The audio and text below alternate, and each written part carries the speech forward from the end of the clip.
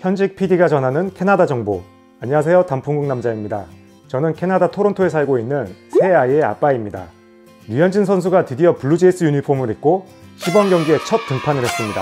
이날 현장에는 많은 기자분들이 오셔서 류현진 선수의 인기와 취재 열기를 느낄 수 있었는데요. 이날 류현진 선수가 등판한 2이닝과 기자회견 인터뷰, 그리고 경기장 이모저모를 카메라에 담아왔습니다.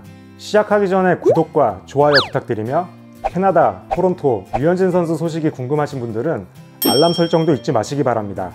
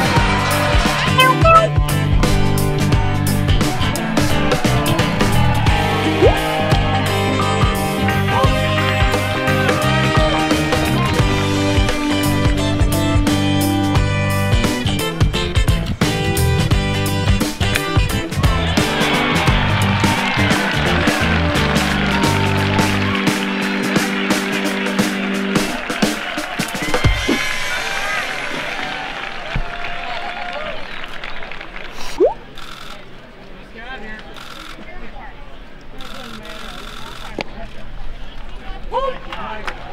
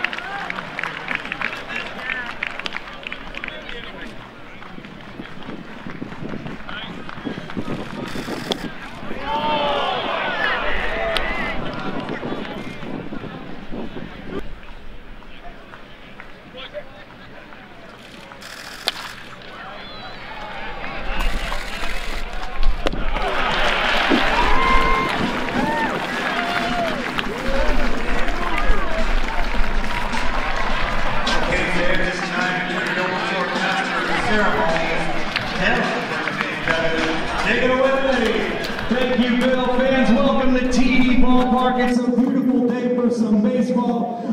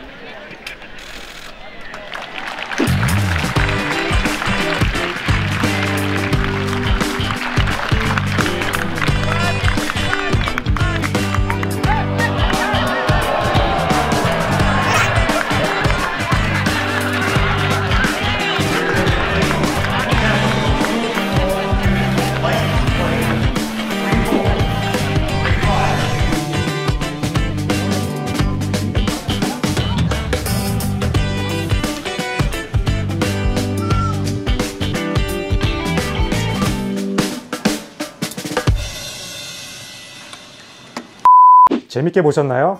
그동안 블루제이스 경기를 로저스 센터에서만 보다가 TD 볼파크에서 류현진 선수의 역사적인 첫 등판을 촬영할 수 있어서 저도 감회가 새로웠는데요. 류현진 선수 앞으로 컨디션 조절 잘해서 3월 26일에 있을 시즌 개막전에서도 좋은 성과 낼 수 있기를 기대해 봅니다. 조만간 구독자 1000 이벤트도 공개되니 채널 고정해 주시고요. 지금까지 단풍국 남자였습니다.